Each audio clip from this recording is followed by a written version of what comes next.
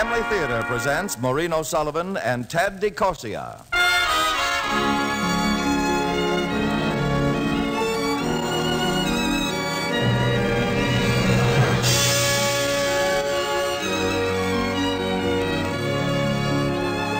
From Hollywood, the Mutual Network, in cooperation with Family Theater, presents Ted DeCorsia in The Kid from Scratch Gravel. To introduce the drama, here is your hostess, Maureen O'Sullivan.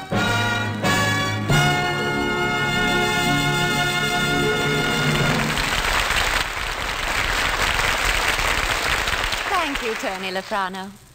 Family theater's only purpose is to bring to everyone's attention a practice that must become an important part of our lives if we're to win peace for ourselves, peace for our families, and peace for the world. Family theater urges you to pray. Pray together as a family.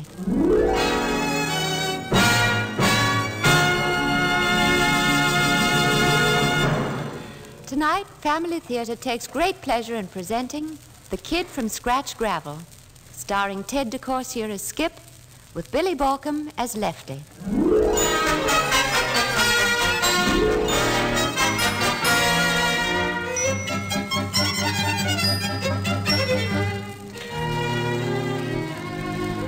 My name is Commodore Dewey Donovan, but everybody calls me Skip. The skip comes from the fact that I'm skipper or manager of a big league baseball club known as the Panthers. Two years ago, we finished a loud seventh. And last year, well, we were in the cellar and things were really tough.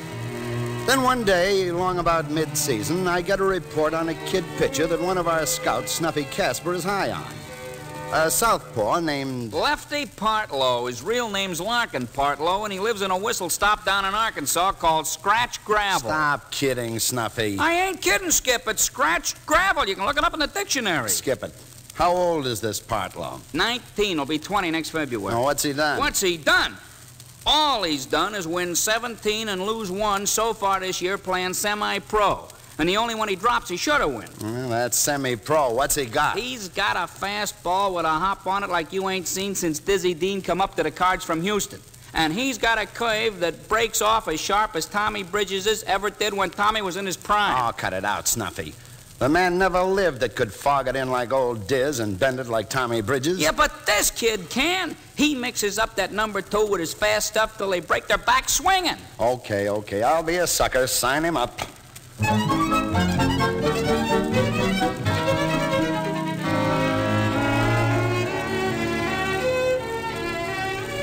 Well, somehow or other, Snuffy signs up this Partlow kid, and we order him to report to our training camp in Florida. When I first take a gander at him, I figure somebody's pulling a gag on me. He's got hay behind his ears and cordwood on his breath. Hank Milligan, our veteran catcher, says to me, How's for warming up this Partlow kid, Skip, and seeing what he's got, if anything? Okay. Uh, Lefty, toss a few to Hank here. Yes, sir. I'll go out with you, Hank. This kid's got all he's cracked up to be. He can maybe help us go places this year. Mm-hmm. I seen a lot of spring daisies bloom, and I also seen 'em fade. All right, now take it easy, Lefty. Don't forget it's a long time till October. Yes, sir. I won't use hardly none of my sweat. Okay, just lob it in. Ooh, that crazy busher like to tore my hand off, Skip. Wait a minute, wait a minute. What's the matter with you, Partlow? You trying to rip your arm loose at the elbow? Uh, you don't need to fret yourself none about my arm, Mr. Donovan. I've been chunking rocks at the squirrels all winter. Chucking rocks at the squirrels. That wasn't even half my swift, Mr. Donovan. Well, then save it a little later. Uh, let's see you bend one. Yes, sir. Better watch sharp, Mr. Milligan. This jug handle of mine kind of dips real rapid. Why, less unwise guy. For 12 years now, I've been hatching, I've been catching real pitches. Hold it, Hank. All right, Lefty, curve one. Hey, that almost got away from you, didn't it, Hank? So help me, Skip. I never seen a hook breaks a shot. Yeah, it looked real good. You got anything else, Lefty? A slider or a knuckler? Well, I've been practicing on a screwball, Mr. Donovan, but I ain't got it down so expert yet. Now, let's look it over anyway. Yes, sir. All right, come on, let's have it, kid. Hey, what'd you... Hey, what happened? Hey, look at your hand, Hank. Why, It tore a fingernail plumb off. I never even, I, I never even seen it break, Skip.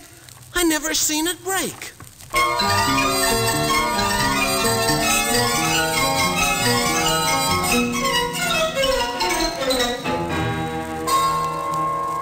So, Lefty Partlow's a spring sensation. But as we travel north to start the season, I still can't figure how he can break into our pitching staff as a first stringer. Jimmy Truesdell and Specs Martin show the form they've been promising for years. Then we make our first home appearance at Panther Park. Outside the players' entrance, Paper, paper, get your Courier Express. Hey, guy, you can't go in there. That's the player's entrance. Yes, um, then I reckon I found right place. You don't look like a ball player to me. What's your name? It's Lefty. Uh, I mean, it's Larkin Partlow. Oh, you're that hot shot, that hot shot cunny thumb all the boys been writing about. Oh, I ain't so sure about that. Don't you read the papers? Not no great deal, miss. Uh, mostly I just read comic books. Oh, I thought maybe I could get you for a regular customer when the team's in town. H- hi, Skip. Hiya, Polly. How's our little mascot today? Batting 400. Say, Skip, before I waste any time cultivating this busher for a customer, what's his chances of sticking with the team? what would you say, Polly? I don't know. It looks like a square meal wouldn't hurt him. Well, I've been eating kind of high on the hog since I joined up with the Panthers, Miss. Uh, Uh, Dudley, Lefty. Miss Polly Dudley, 10 years old. 11 now, Skip. All right, Miss Polly Dudley, 11 years old. The most rabid rooter the Panthers ever had. You can say that again, Skip. You know, Lefty, I hope you make the grade. You're kind of nice, even if your haircut isn't exactly hip.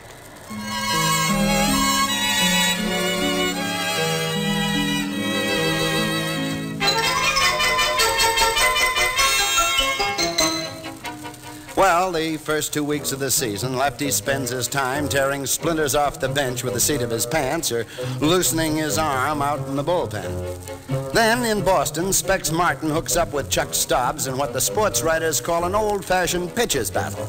It's one to nothing favor us as we go into the first half of the ninth, and Specs has allowed the Red Sox only four scattered hits. Johnny Pesky pops to Martin. Buddy Rosar fans. The fans are filing out the exits when Steve O'Neill sends in Clyde Vollmer to bat for Stobbs, and Clyde comes through with a single between third and short. On the hit and run, Dom DiMaggio lines one to right that moves Vollmer to third. Martin works too close on Billy Goodman and walks him, filling the bases. That brings up Ted Williams. I decide Specs has had it, and I signal the bullpen for Lefty. Your attention, please. Partlow, number 37, now pitching for Martin. I go back to the bench with my fingers crossed. Hank Milligan's not catching that day, and the first thing he says is, Oh, you got your nerve, Skip, tossing in that busher in a spot like this. Williams is liable to tear his head off. It's a hunch, Hank. Yeah, I hope it ain't a funeral. Hey, ball! Uh, I'm gonna close my eyes. I can't look at this. A letter high fastball, and Williams never even seen it. Oh, strike! You Ted! You swing like a rusty gate.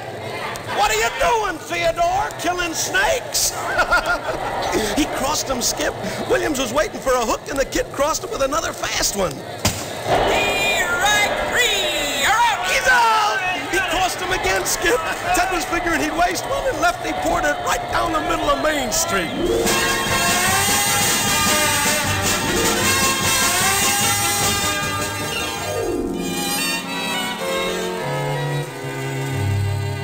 I've been waiting for you, Lefty. Everybody else is gone. Yeah, I reckon so. I, I've been trying to tie my necktie in one of them Windsor knots like Jimmy Truesdell wears. I can't seem to get the hang of it. it's a mess. Lean over and I'll tie it for you right. Yeah. Gee, Hossafat, Lefty, I almost died when you fed that last fast one to Williams. Why didn't you throw one wide? Well, Williams don't swing on no bad balls, Miss Polly. I figured what he couldn't see, he couldn't hit. What he couldn't see. Brother, you sure hate yourself, don't you? The guy you fanned is only the best hitter in the whole league. It ain't that, Miss Polly. It's uh, his eyes again my arm, and I just figure my arm's faster than his eyes. you know, Lefty, if anybody else said that, I'd give him the well-known bird. But with you, it's different. There, there's your tie. Oh, thank you, ma'am. Next time, though, mix up your stuff with Williams. He'll be waiting for some smoke and he'll pickle it.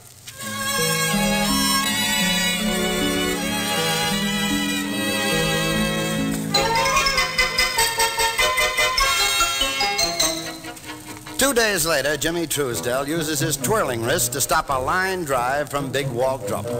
It's a clean break, and Jimmy's out for a couple of months. So I give Lefty Partlow a regular turn. And we do all right through the West until we move into St. Louis. And that's where the trouble starts. A man and a woman are sitting together in the lobby of a hotel where we always stay. See that kid sitting over there, Rose? The yokel with a fishbowl haircut? Yeah, that's the one. You know who he is? Well, he isn't Ronald Colman. He's just as famous as Colman. That's Lefty Partlow, the Panthers' sensational rookie pitcher. So what do I do? So you ankle over close to him and ask him for a match. Then you start talking to him. After that, you call me over and introduce me as your father.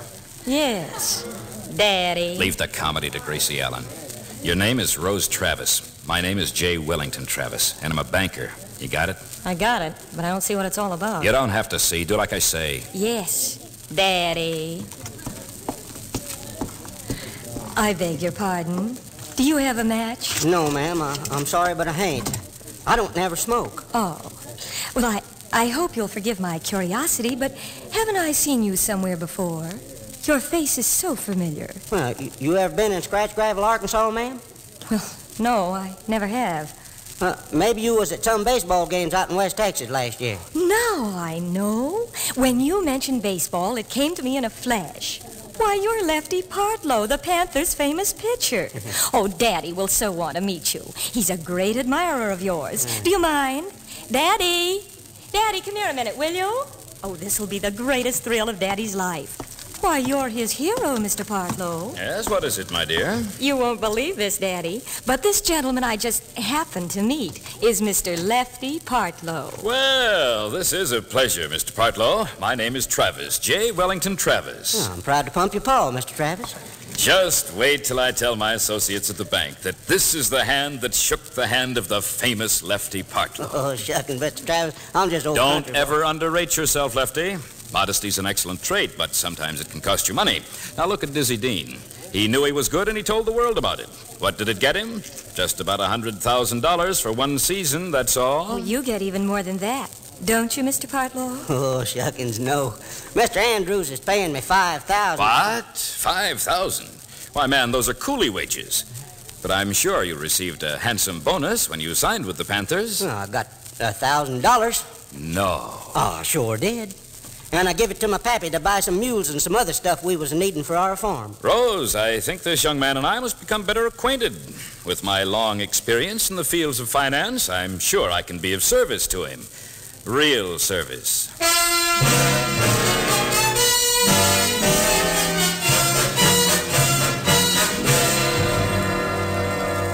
What gives with this rabbit twister, Joe? I just wired Benny Albert to fly out. I'm going to work the old lost wallet gimmick on the kid. What's that?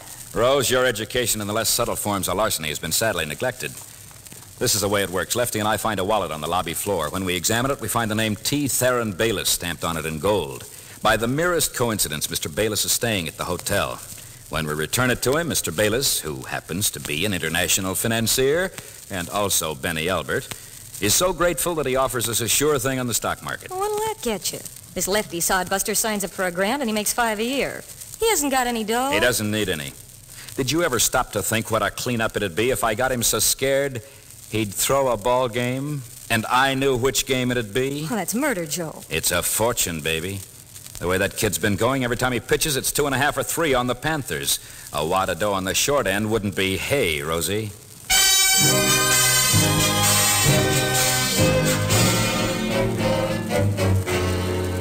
Gentlemen, I must offer you a reward for your honesty.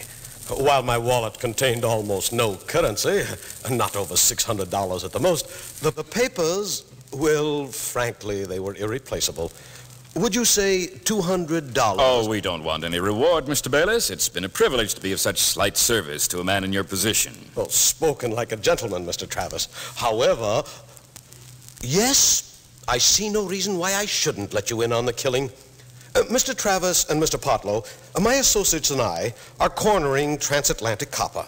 A slight investment today? Well, I could almost guarantee it would be tripled by the time the market closes. Well, I'll go for a thousand, Mr. Bayless. How about you, Lefty? Shuckins, Mr. Travis, I don't hold no such amount of cash as that. Well, then go for, say, 50. Oh, yeah, I got 50, all right. Well, let me have it, boy. I'll triple it in three hours, or my name's not T. Theron Bayless.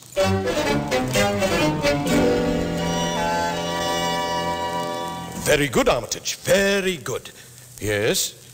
Now, let me know of any new developments. Yes, yes, I'll be here at the hotel. Goodbye, Armitage. My congratulations, Mr. Travis and Mr. Partlow. Your profit, Mr. Travis, is $3,000. And yours, Mr. Partlow, is 150. Oh, my, thanks. Oh, not at all. Oh, uh, permit me to pay you now out of my own pocket, and my broker can reimburse me tomorrow.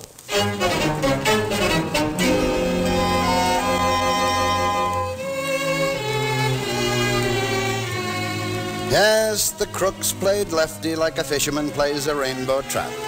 The kid keeps buying stocks or thinks he does, and of course he makes a profit on every deal. Out on the pitching rubber, he's pure poison. When we hit Boston in August, he's won 18 and dropped only five. Mr. Travis has been following the team from city to city, and he checks in at our hotel. He phones Lefty and asks him to come to his room. Lefty, how'd you like to make a real cleanup? Well, uh, how much would the real cleanup be, Mr. Travis? What would you say to $20,000? $20,000? Yeah. Glory be. I could send it to Pappy and he could buy himself a ranch down in Texas, just like he's been wanting to since always. I just got a phone call from Mr. Bayless. There's a certain stock, I can't tell you what it is, of course, that he and his associates have rigged. I want you to buy $5,000 worth. But, Mr. Travis, I, I ain't got no $5,000. I'll fix that. I've always been your friend. A good friend, haven't I, son? I ain't never had none that was no better. Thank you, Lefty. Now, what are friends for if they can't help each other? So here's what I'm going to do. I'll put up the $5,000 for you, and all you have to do is give me a note for it. After you collect your profits, you can pay me back, and I'll tear up the note. Uh, I ain't so sure, Mr. Travis. Nonsense, my boy. I've got it all made out. Now, you sign right here, and I'll take care of everything. I'm afraid I have bad news for you, Lefty. You mean that stock didn't go up like you said it would? No, we've dropped every penny we invested. But, Mr. Travis, five Now, don't worry, son. I'll hold your note, and you can pay me whenever you're able.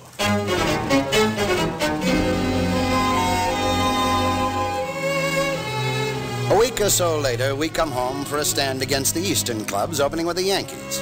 When Lefty checks into the hotel where he and most of the other single fellows stay, Mr. Travis is waiting for him.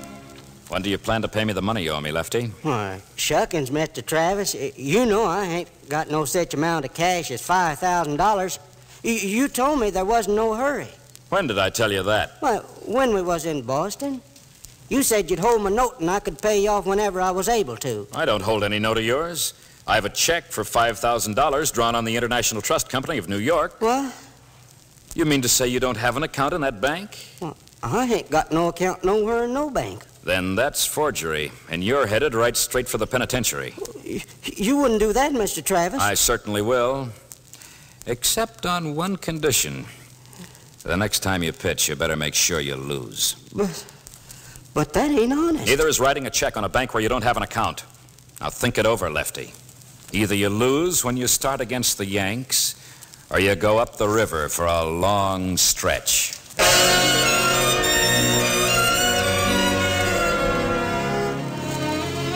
What a day that next day was. First, Lefty tells me he's sick and he can't pitch even though it's his turn. Then Hank Milligan comes to me and says, Skip! Huh? Oh, Skip. I saw something last night that don't look so good. Oh, what's that, Hank? Well, when we checked in the hotel, there was a guy waiting to see Lefty. He called the guy Mr. Travis, but he was Little Joe Turk. That tin horn gambler. Mm-hmm. And it sure looked like Little Joe was laying down the law to Lefty. If Little Joe Turk was to somehow have the axe on Lefty... He couldn't do it. Lefty'd get thrown out of baseball. Yeah, but the kid don't know that. After all, Skip, he's just a hay shaker that's never been around here before. I'll talk to him. No. Oh, Skip. I got some more bad news. Little Polly. You know, the kid that sells papers. She got took with polio while we was away. Oh, no. Mm-hmm. She's out at St. Francis Hospital. They got her in an iron lung. Joe Bearden told me. Well, has she got everything she needs? Has she got the best doctors? The ball Take club it easy, Skip. Joe says they couldn't treat her better if she was a queen.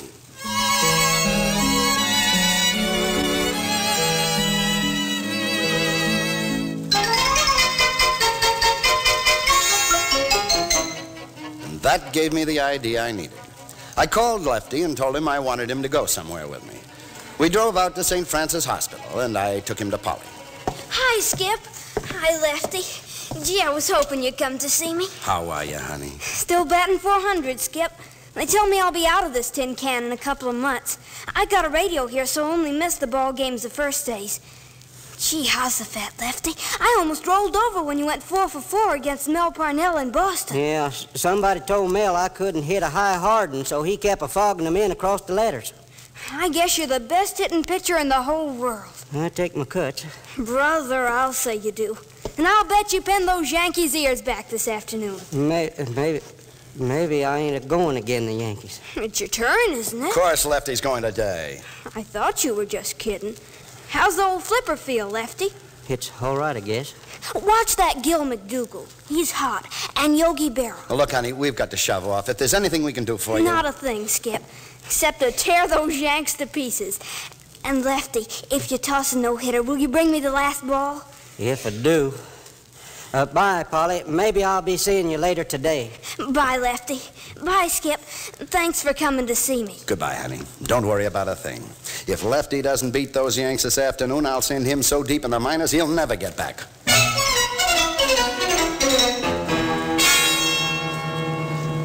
Golly, Mr. Donovan, that little old Polly's a real fan, ain't she? Yeah? She eats, breathes, and lives baseball. To her and about 10 million other American kids, baseball isn't just a game where 18 Joes in monkey suits hit and throw a little white pill around a ball yard. It's, well, the best way I can say it, it's just about the next thing to religion. And it puts an awful responsibility on every one of us that's in the game. Yeah, I reckon it sure does. Anytime one of us doesn't bear down, it hurts us and it hurts the game. But most of all, it hurts those millions of American kids who look up to us like we were a bunch of gold plated heroes. All in all, baseball's been mighty clean. It's up to us to keep it clean, for the kids will be stars when all we are is a bunch of statistics in the record book. Maybe you never thought about it exactly that way, Lefty. No, sir. I don't reckon I never did. Mr. Donovan, I got something I just got to tell you. I don't want to hear it now. Save it till after we pour it on the Yankees.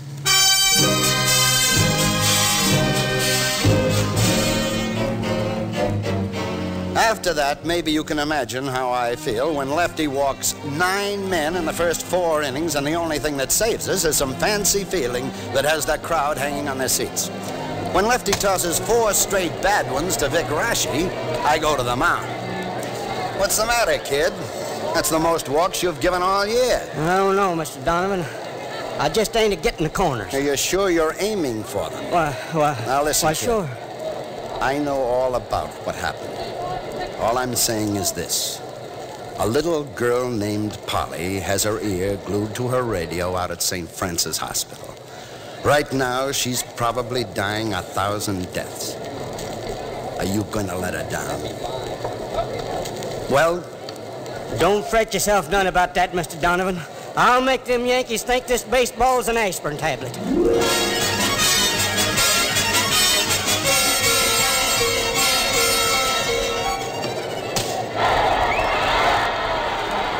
What's the score? Daddy. What's the score? She asks me. I got every dime I own riding on the Yankees. And the Panthers are ahead one to nothing. And it's the first of the ninth with two out. You're as bad as that double crossing lefty Partlow. A no hitter he's pitching. Mize now batting for Collins. Johnny Mize. Maybe he can park one. Is this Mize a good ah, Oh, ba- shut up and watch. Hey, that's 11 strikeouts for Lefty. One more pitch and he'll shut have up! What are you trying to do? Put a hex on the kid?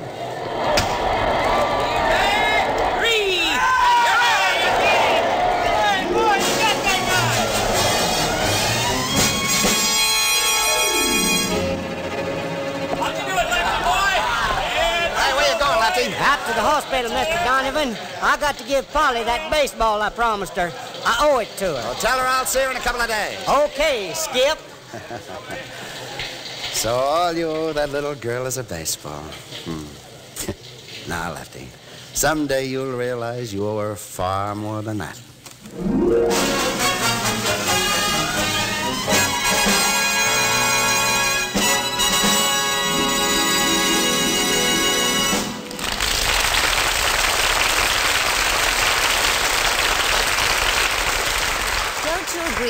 This wholesome story we've just heard, Lefty owes Polly ever so much more than just a baseball? Gratitude isn't quite the right word for it. Perhaps the word is incentive. and I'm not so sure that every public figure, whether in sports or entertainment, hasn't the same incentive and the same obligation to those who look up to him. and in some cases, who actually imitate him. It has been said that the man or woman who strives for the public's favor should never forget the solemn responsibility of example. Yet, public people are only human after all, with the same tendency to frailty and to folly as anyone else. Where then can they get the inner strength that they, or that any one of us must have, to bolster our poor human weakness? Well, the answer is prayer. Simply that. And since it's literally true and not mere poetic fancy, that where two or three are gathered together in His name, He is in the midst of them. How much more powerful than the prayer of one individual is that of the whole family, drawing on that strength and strengthening each other. Surely such a family and each member of it will inevitably reap the benefit of loving, united prayer, rising like the incense of evening sacrifice, united to our Heavenly Father, and united always to each other. For the family that prays together stays together. More things are wrought by prayer than this world dreams of.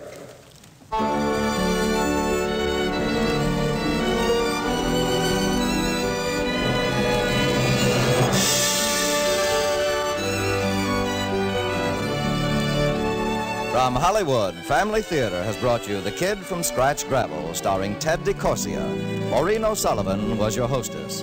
Billy Baucom played Lefty. Others in our cast were Howard Culver, Herb Vigran, Ann Whitfield, Martha Shaw, Ben Weldon, and George Taylor. The script was written by Jack Mitchell, with music composed and conducted by Harry Zimmerman, and was directed for Family Theater by Joseph F. Mansfield. This series of Family Theater broadcasts is made possible by the thousands of you who feel the need for this type of program, by the Mutual Network, which responds to this need, and by the hundreds of stars of stage, screen, and radio who give so unselfishly of their time and talent to appear on our Family Theater stage. To them and to you, our humble thanks. This is Tony Lafrano expressing the wish of Family Theater that the blessing of God may be upon you and your home, and inviting you to join us next week at this time when Family Theater will present James Whitmore and Gene Raymond in The Mademoiselle from Saint Antoine. Join us, won't you?